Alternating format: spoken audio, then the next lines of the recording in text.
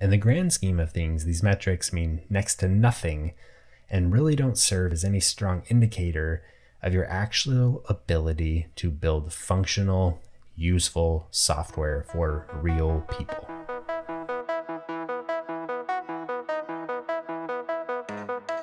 Welcome to the Goobar Podcast, where we talk about building great software and helping others do the same.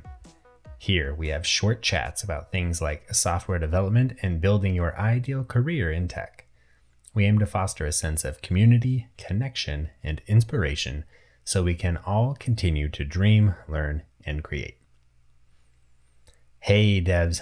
Today's episode is going to be kind of short and to the point, but I just really wanted to take a few minutes to chat about this because it's been on my mind and I keep getting reminded about it. And the topic of the day are developer scores. And more specifically, the potential problem with these kinds of scores and why I think it's really important to keep them in perspective. So, what do I mean when I say developer scores? I mean things like Google's Modern Android Development Score or Pluralsight's Android Associate Developer Assessment Score. If you don't know what these things are, uh, I will include links to them in the show notes.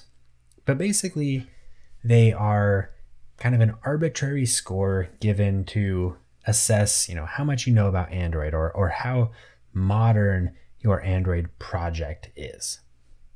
You know, what are these kinds of scores aimed to do? Well, they're basically a gamification tool. You know, they're a rough metric for comparing your skills or your project to some standard that somebody out there has set.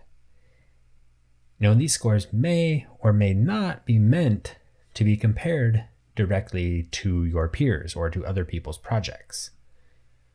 On the surface, I don't think anyone means any harm by these kinds of things. I think for the most part, they are meant to be a rough measuring stick to guide learning, or maybe really just a simple way to drum up some marketing buzz, you know, something that gets people sharing their score, talking about their score, getting conversations going on social media and the such. Neither of these things is particularly harmful though on the surface. So I don't think there's necessarily anything malicious or or at least outright malicious or anything here. And so before I dive any further, I just want to throw this kind of prerequisite disclaimer out there. I know that my opinion on this is not going to apply to everybody, and that many people might think that this is no big deal. Maybe that I'm making a big deal out of this. Maybe that this, you know, takes the fun out of programming. I can totally see that arguments for a lot of people. I felt that way about this kind of thing until a few years ago. I can understand why many might feel that way. I just don't personally agree with it anymore. So, why not? Why do I have an issue with these types of scores?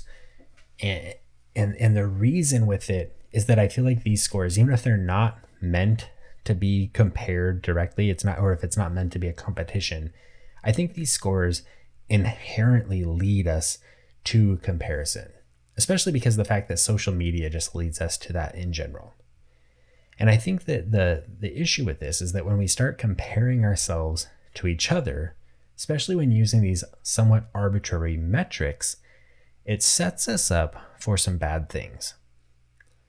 So, some people might start to game the systems to get a higher score so that they can share it around.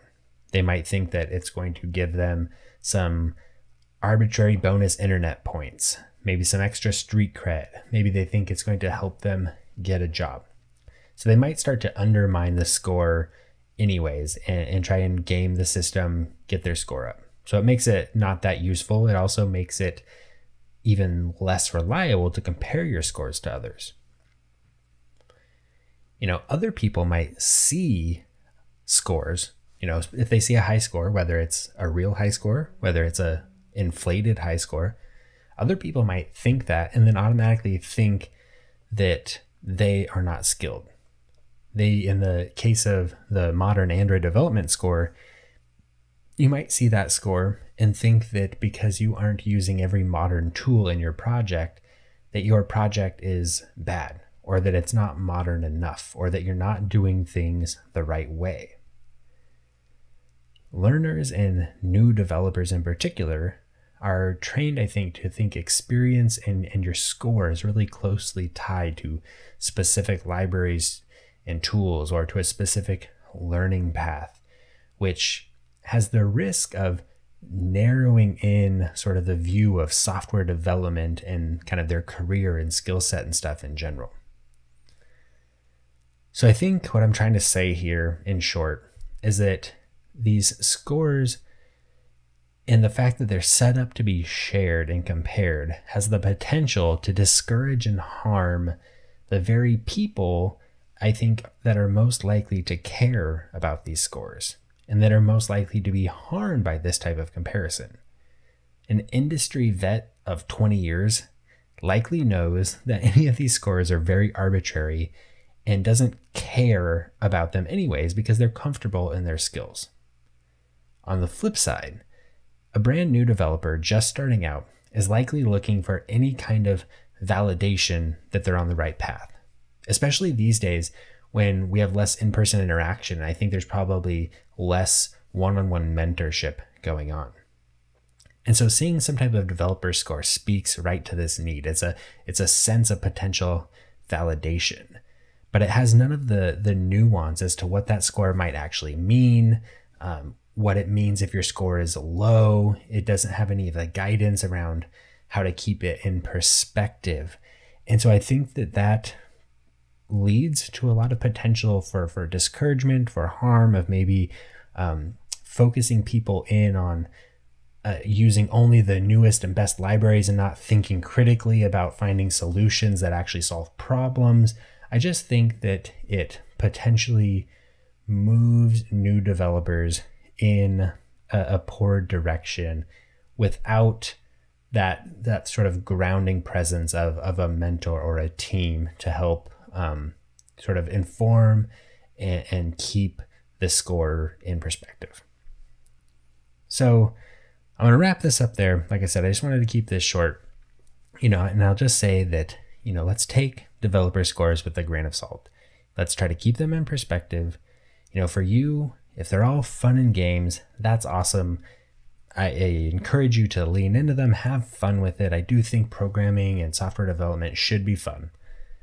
However, if you know scores and the comparison of scores sometimes stress you out, if you can, try to avoid becoming discouraged if you don't score high enough on the assessment of your pet project um, or you know you don't score high enough on some you know, random quiz out there.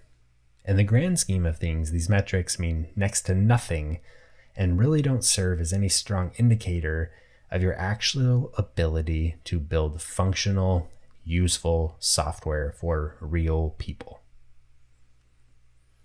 If you enjoyed today's episode, leave a review and be sure to subscribe for future chats about software development and career. And remember, if you have a question or topic idea, I'd love to hear from you, and you can send those in to podcast at goobar.io for your question or idea to possibly be featured in a future episode.